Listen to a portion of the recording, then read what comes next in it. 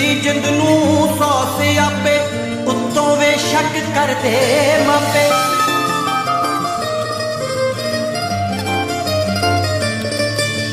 ਮੇਰੀ ਕੱਲੀ ਜਿੰਦ ਨੂੰ ਸੌ ਆਪੇ, ਉੱਤੋਂ ਵੇ ਸ਼ੱਕ ਕਰਦੇ